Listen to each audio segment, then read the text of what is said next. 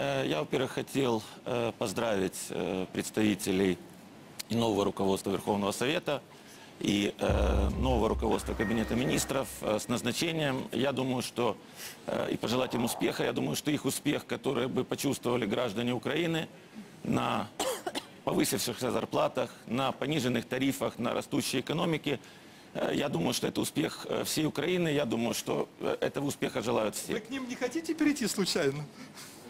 Извините. Господин Фисенко, вы себя Я ведите прошу прилично, прощения, пожалуйста. Прошу прощения. Ну так вы говорите.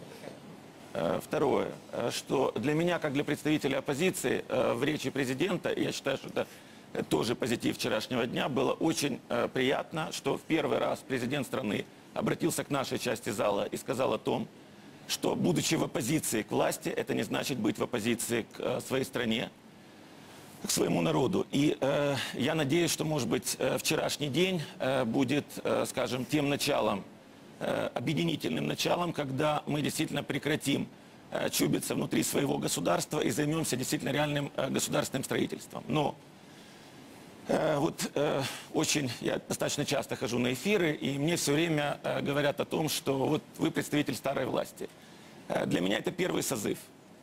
И, э, честно вам скажу, я вот всегда э, на- достаточно давно наблюдаю за тем, что происходит в Верховном Совете.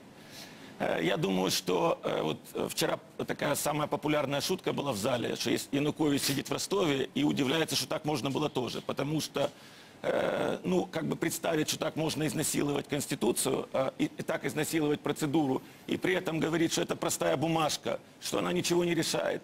И даже не в этом дело. Э, То, что э, опять же, коалиции нет.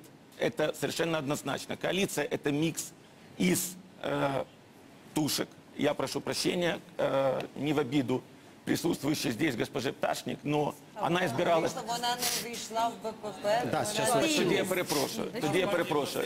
Но было достаточно большое, я прошу прощения, Э, э, было достаточно большое количество э, депутатов от самопомощи, которые избирались от самопомощи. Второе, если в коалиции насчитывается 227 э, голосов, то все прекрасно понимают, что это не коалиция, а игра на пианино. И это все прекрасно понимают. Это вторая составляющая.